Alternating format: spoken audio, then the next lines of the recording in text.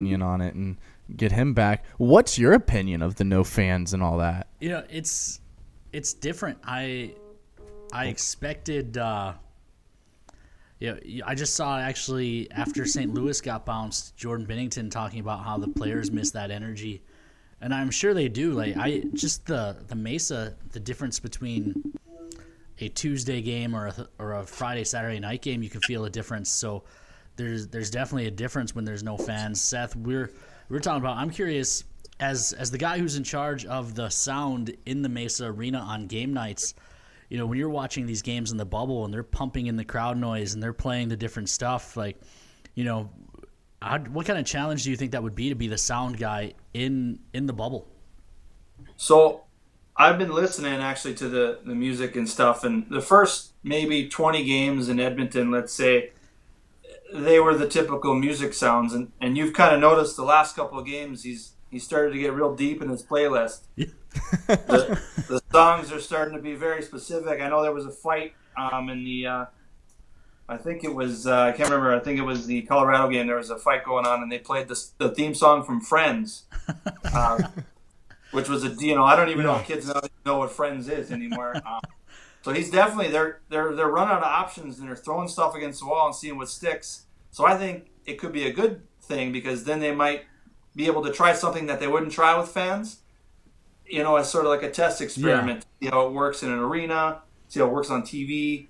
Um, as far as no fans and cheering, I think it it takes uh, it takes something off the the crew working the game because they don't really need to you know please people or read the room. They can just play the you know the songs. There's no extra stuff going on between whistles, so it seems like it's the no fans benefits that. You know, I mean, obviously everyone wants fans there, but I think you got to take the good out of this and what you can learn.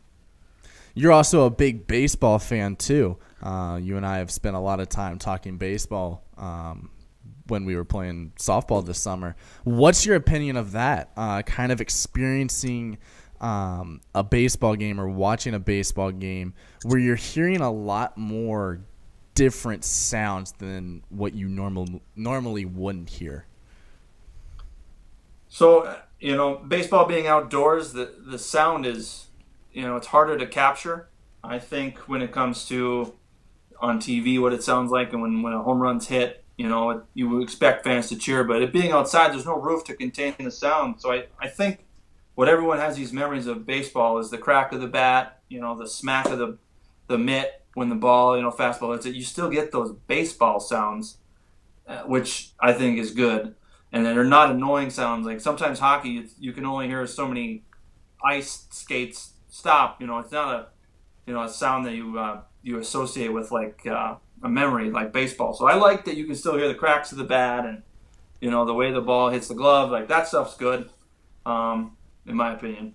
We've had a couple of fans chime in, and no, fans are going yeah, to be allowed say, yeah, we're, we're going to have Maysa. fans at the Maysa, and uh, first uh, first chance to get back in that building will be September 26th. We've got the alumni game, and then Tauros and Aberdeen Wings preseason, and and Seth, I know for for us as a staff, it was a pretty disappointing way last year ended, not because of anything the team did on the ice, but just COVID forcing that abrupt stop. How excited are you to get back in the Maysa and uh, and get back to putting on the show?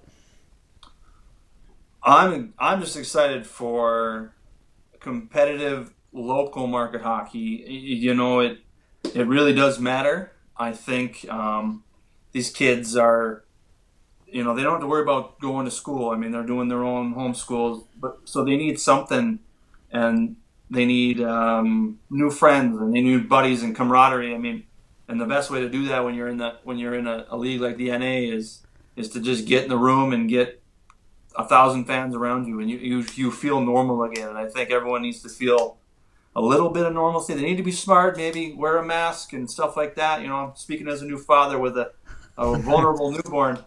Um, you know, maybe we can make some Tauros masks and we can put some some husks on them or something. Yeah. You know, yeah. we, can, we, can, get in there and we can cheer them on. You know. Now, uh, you know, what goes into your like? I think a lot of fans probably look at it and go, "Oh, you just you've got a computer there and you just play music." But I I've watched you do your thing during games. How much thought do you put into you? You mentioned catching the NHL games that they're playing the theme song for Friends during a fight, how much thought do you put into what songs are going to fit in what which places on a game night? So I I think um, imitation is the sincerest form of flattery. Um, if you hear a good idea on TV, I will steal it right away. I don't care. I'll, I'll go on Spotify. I'll put my phone up to the TV, or not Spotify, Shazam. Um, well, whatever song it is, I'll, I'll Shazam the song on TV and I'll, and I'll put it right there. If I like the, the vibe it gave, if I like anything like that, you know, and then I think to myself, where would this work? Is this a first period song? Is this a we're down late in the game song? Is this a in between periods have fun song? Eh, you know, I have all those lists on the computer there of like the moment, and it's so easy to queue up. You know, you're in the third period, you know, okay, I got third period, and then if there's a crazy good face off we need to win, I got I got those songs in the one spot I need them. Um, but I steal from anyone and everyone possible. I mean, it's it's an industry where you just got a, an idea against the wall, it works. It's it's great. You've been uh, you've been with us for a few seasons now. What is your favorite, or what are some of your favorite Tauro memories? So I mean, I've, the seasons that I've I've been around, um, I think we all have the same kind of area of a memory. Um, Subway Cup when we won that, I think three years ago um, with Rosenbaum and, and Sawchuk and those boys you know, it's just some stupid little Subway Cup, right? You'd think, oh, it's a cheap trophy, you know, and, and then you win that thing, and to you know, I've been in the I've been in NHL rinks, I've been in the the Ingolstadt Hockey Arena when when stuff's been won, and the Maysa was just as loud. I mean, it was just rumbling. I I'm yelling on the mic. I got the mic turned all the way up. You can't hear me. It's pointless. I'm scratchy gravelly, and it was over just beating the the capital city kitties. It was just over beating Bismarck. It wasn't for yeah, it was it was great, and it's just you know the the trophy you can tell it's not just some stupid trophy. These, these kids want it, yeah. and that was amazing um, to just be in the rink and be on the mic and not even hear myself. Uh, go ahead. What are uh? So you show up usually to the rink about an hour and a half. Yeah, not quite an hour and a half, but about an hour before puck drop. What are some things that you do to prepare yourself whether it's mentally or physically with your voice, that you do to get ready for a game? So, I don't. Um, before the game, when I'm at, at my house, I usually sing in the shower when I'm getting ready. I usually do all that stuff. If I have a game, I don't sing. I, I catch myself. I say, "Don't sing," because the voice will go. So I'm pretty quiet um, before I get to the rink. Obviously, when I get to the rink, I do what every announcer does, and I get you know how do you say this guy's name and you know how do you do this that's all basic boring stuff no one wants to hear that but but i like to during warm-ups specifically i i don't know if ken likes it but i always walk and i watch the other teams warm up i sit in the that, that area by the, the bud light bar i kind of lean on the rail there and i just watch them um, if, especially if it's the first time seeing the team um, I don't know line rushes. I don't watch any of that. I just watch, you know, for the guys that are leading the drill first and just kind of pick them out. Make sure, obviously, I know how to say their name, but I want to get a feel for the team. I want to get a feel for the goalie specifically. You know, can I rattle them with a song? Maybe can I? Can, can we get the fans behind them? Just things like that. Um, but mostly, I try keep my voice saved, and then I just kind of watch the other team close. You uh, you mentioned you see if you can you know find the right song to maybe get the other team's goalie rattled or something like that. You know, just like the hockey players are superstitious. I know when I've got my headset on, I'm superstitious. You know, are you superstitious? Say if you play a certain song and then right off the face-off we get scored on, does that song get cut? Do we never hear that again at the Maysa? Do you have any kind of superstitions like that? I I don't have any song superstitions. I um, you know, I I wear the same shirt and the the same the same pair of pants, and I didn't realize I was doing it. Um, Gotta have that lucky park, pair of underwear. I, I, I do change that. I park in the same spot. um, I park in the same spot. I walk in the same door. I do everything like that, and it was subconsciously. But when you think about it, in the end, it's kind of like the routine.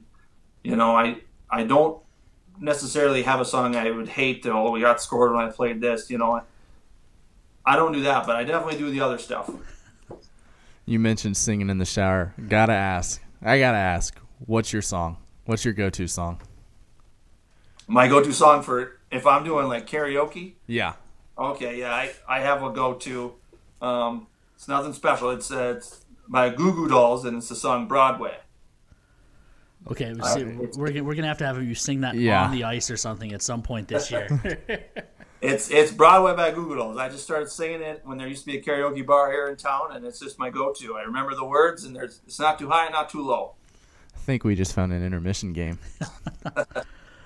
Um, so uh, we mentioned we've got preseason coming up. Regular season schedule should be coming out here soon. I know there's there's just a few little tweaks they're putting on it. Um, you know, with the season coming up, how excited are you? I know I've asked you a little bit before, but just for not even the hockey aspect of being back in the Maysa, but just the social aspect, being back in the arena, seeing people that you see at every game.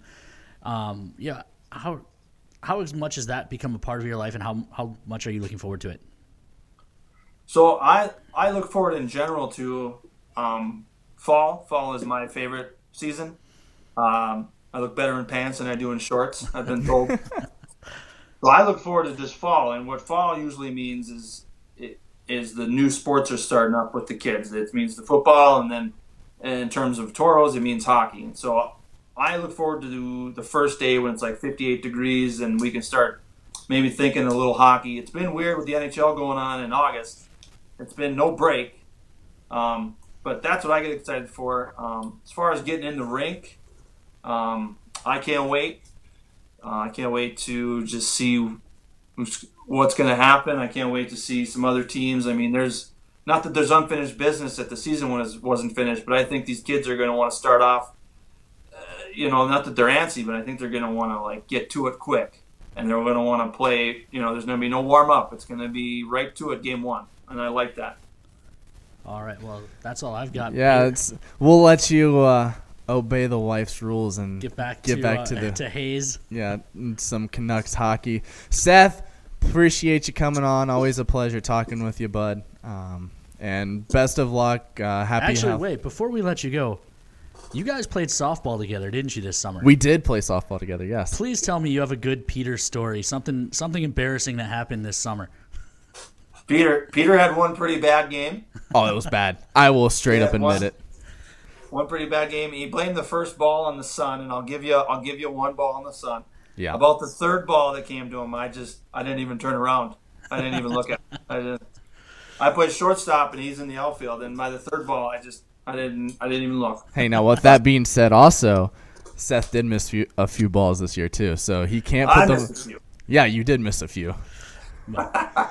All right, we'll let we'll let you go for real this time. I just I had to. I thought of that last minute. Had to had to get a quick shot in. I also hit more home runs than he did. Just throwing that out there too. You did probably. Seth, like I said, appreciate you coming on. Always a pleasure talking with you, and uh, look forward to this season. you bet, guys. Thanks for having me on. Thanks, Seth. Uh, a couple of questions about people asking. The preseason is going to be September 26th. September 26th, we'll have the Aberdeen Wings here in town. 4:30, a charity game benefiting Prairie Grit. It'll be uh, Before that, there's actually going to be a Prairie Grit g- sled game. Yeah, the, the Prairie Grit Prairie Grit kids will be out on the ice. Before that, I believe at two o'clock at four thirty, it'll be the Tauros and the Aberdeen win or no Tauros alum against the Minot All Stars. Um, some good names coming for that. We just got uh, former UND uh, player Casey Johnson is coming back.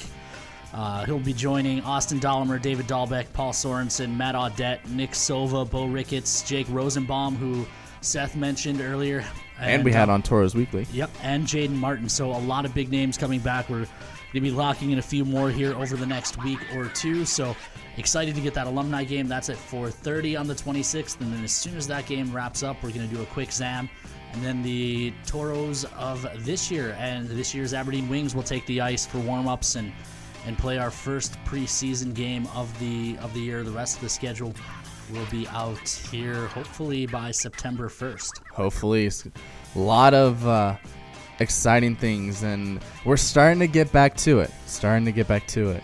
Missy Alexander asks if Jake Howie's coming back for the alumni game. I've talked to him like five times, and he's still on the fence. So fans, if you know Jake Howie, you might want to pressure him into coming back a little bit too.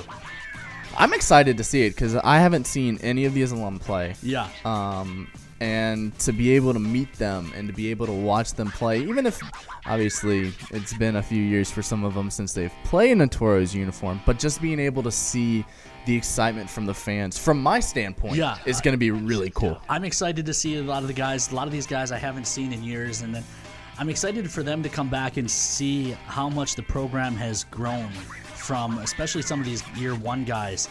You know, I'd love to see what they think coming back, seeing the new Maysa, the new scoreboard that uh, Pepsi donated this summer. I can't wait to get that in and see these guys come out and see what the current Tauros have now compared to you know, the locker room over on the west rink and having to make that walk to play on the middle rink, which, you know, I love the middle rink too. The Eck rink was great. The atmosphere in there when we were playing in there and the place was packed was fun. But I'm really, really excited for some of these guys to see how far the program's come in, in 10 years.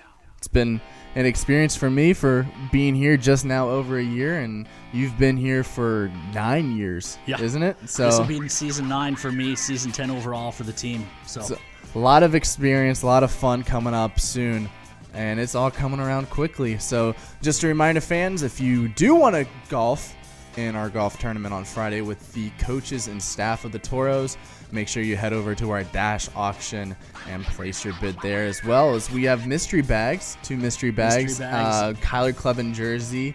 Um, all kinds of goodies. yeah, Some pucks again. Ton, yeah. So Tauro Signature Summer's still rolling on, even though summer's just about coming to an end. So get out there, get uh, get some of those last signed goodies, as well as, as Peter said, your chance to golf with the Tauro staff. That's all I got for Sean Bach Oven. That's Ken Oda. I'm Peter Theodos. We'll see you later.